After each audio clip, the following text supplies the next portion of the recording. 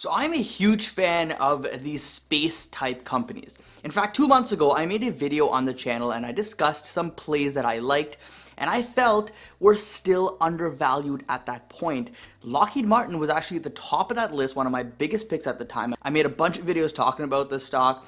And since those videos, the stock is up 16%, guys, and this is despite the huge volatility and selling many stocks have seen in March. So first off, congratulations to anyone who got in on Lockheed Martin stock. That was kind of a no-brainer investment for me. A lot of us in the VIP group bought into this as well, and we're loving the gains so far. And PS, I think Lockheed is still trading at a pretty good valuation. It's a long-term winner. Now, another stock that's interesting in this space is Virgin Galactic, ticker symbol SPCE. This one, though, is highly speculative. This one is definitely what you'd call a story stock because all we can go on really is the story that they tell us. And what's happened over the last few weeks with this stock is that it's come down to levels that has my attention. I've never owned the stock in the past, but that may change sometime soon. But that being said, I'm putting this disclaimer right out here at the beginning of this video. This is not financial advice. I am not telling you to go out there and buy Virgin Galactic stock. In fact, I'm not telling you to go out there and buy any stock. Do your own due diligence. And this stock specifically here is extremely risky, extremely volatile. There's a high probability that you could make some good money on this, but also a high probability you'll lose your entire investment on this. So if you choose to invest in Virgin Galactic SPCE stock, do so at your own risk. So with that out of the way, you know, I gotta cover myself here.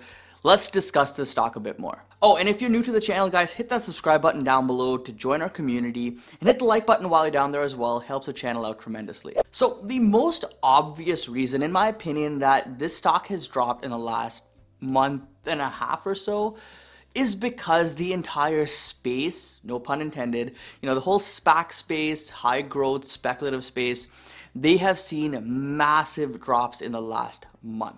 The whole market's corrected. Investors are not interested in those stocks anymore. And it's caused stocks like Virgin Galactic to, you know, literally crash down to the earth's core. Okay, not literally, but you get what I mean. You gotta remember, this company is still pre-revenue, it's story-based, there's a lot of hype, a lot of speculation it doesn't really fit the bucket of what the market's looking for today. And that's why it's seen a lot of selling. It's pretty much as simple as that. But you know what? That's the obvious answer. That's what's happened over the last month and a half or so.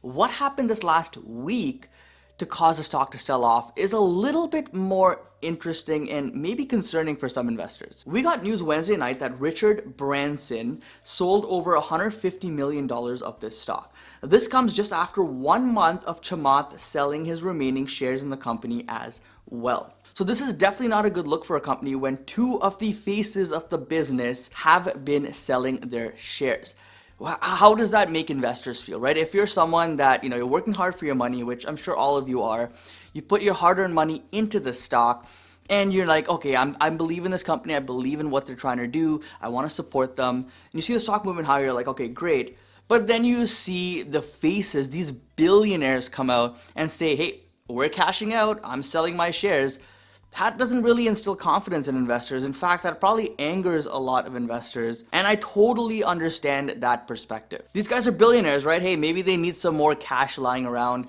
Maybe they need the money somewhere else for some other investment. Who knows? They gotta live their billionaire lifestyle. So no hate Chamath, no hate Richard Branson, but it definitely doesn't set a good tone for us retail investors. But anyways, regardless of what the reason they sold was, the fact is that they have sold and that has added a lot of selling pressure, which contributed to a lot of downside in the stock this past week.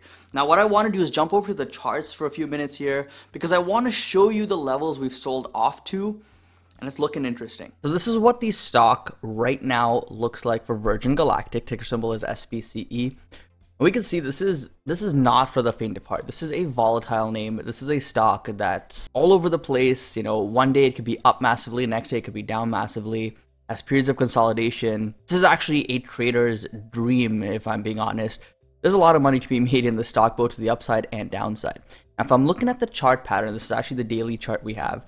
We can see that in early 2020, we had a big run up, ramp up in the stock, and then we all know what happened in March 2020. Market crashed. This one took a beating, dropping under $10 per share. Well, since then, it's kind of recovered slowly but surely. It's been moving up, you know, had some catalyst, earnings, all this stuff. popped the stock and then people sold off and then popped again, sold off, popped again, sold off. The trend continued, kept moving higher though, kept making higher lows, we can see here. And then here in early 2021, it's almost like it was deja vu. Same thing happened, stock ramped up. We all know what happened in March 2021 when it comes to SPACs, speculative investments, high growth stocks, and boom, this crashes down once again. Now, initially, this looked like a pretty good buying opportunity, right? It bounced off of this 200 day moving average support, what it broke previously, but it kind of held around this over the last year or so. And investors were like, this is a buying point. I'm going to buy. It recovered. They all thought they were geniuses, but then it pulled back. And now it's kind of holding this level for the last few weeks. But then this past week, we actually broke down below this.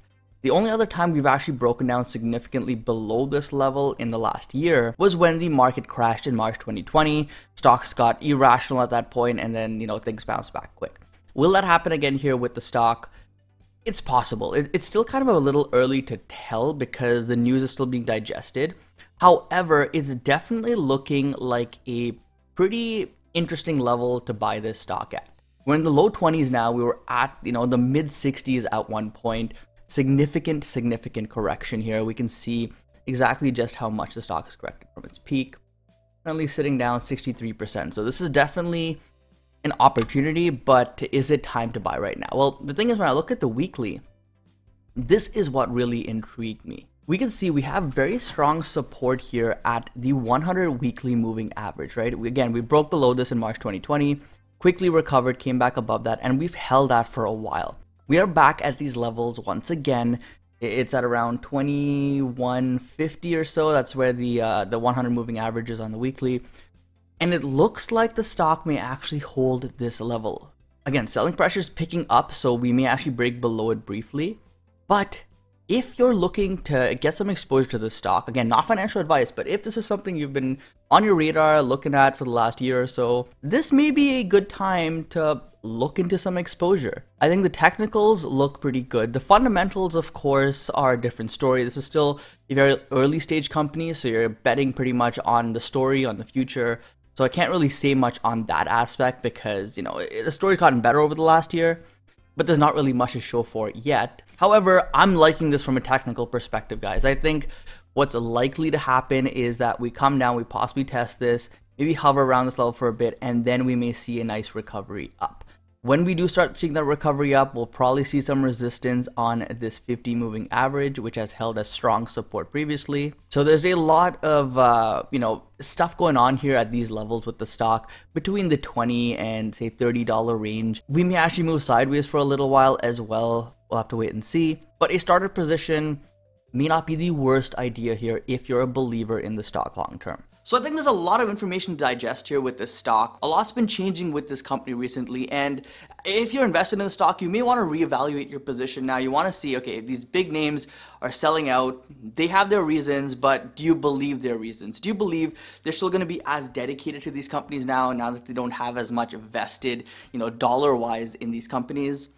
I don't know. As it comes to me, am I going to be buying the stock? I'm not sure yet. I'll, I'll, be thinking about it. If I do, it's going to be a speculative position, very, very tiny position. So if it goes to zero, not going to make a difference to me. And even if it doubles or triples, eh, okay, I'll make some money. It's not going to be like life changing, but it'll be an interesting ride nonetheless. We'll see. We'll see. I'm not going to make any promises. I may or may not buy. As of right now, I don't own it. But anyways, guys, I want to hear from you. Do you think this is a buying opportunity in the stock today? Do you think these levels we're seeing in like the low to mid 20s is a good time to buy this stock?